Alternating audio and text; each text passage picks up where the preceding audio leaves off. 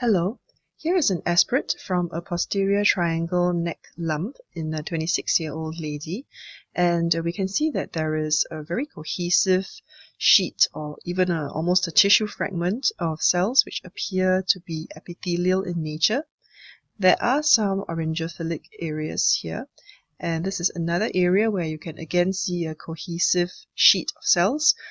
Uh, more of a similar appearance with these cohesive tissue fragments, some orangophilic areas, and some uh, cells. Over here, there is a hint that this might be a multinucleated giant cell.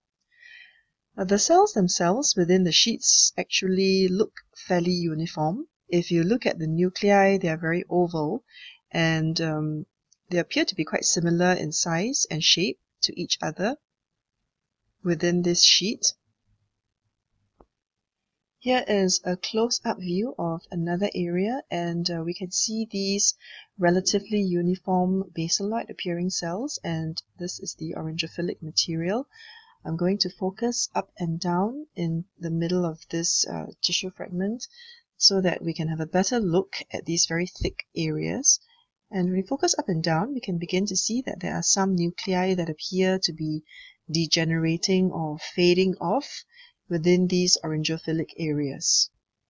Here is another such area and again you can see these cells and uh, they kind of blend in into these more orangophilic areas.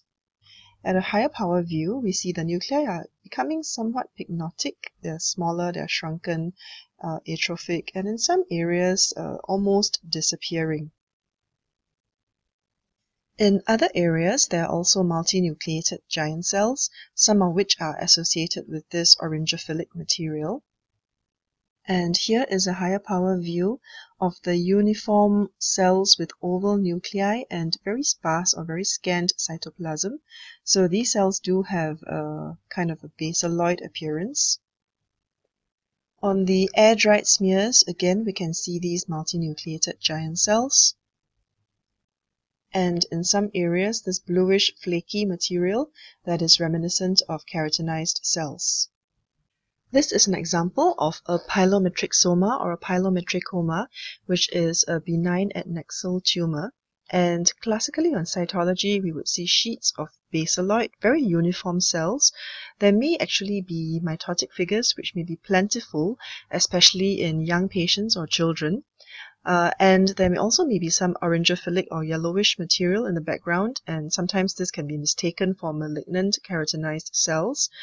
Uh, here, here is some of the orangophilic material, and um, also there are very often large multinucleated giant cells um, containing many, many nuclei.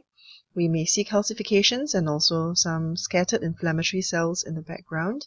And a very characteristic feature, which is also seen on histology, is the presence of ghost cells.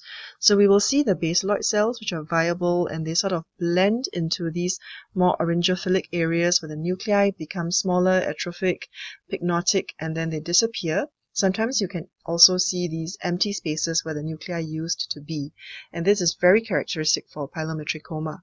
It is important to know of this entity because it is a differential diagnosis for metastatic carcinoma, especially metastatic squamous cell carcinoma in cervical lymph nodes.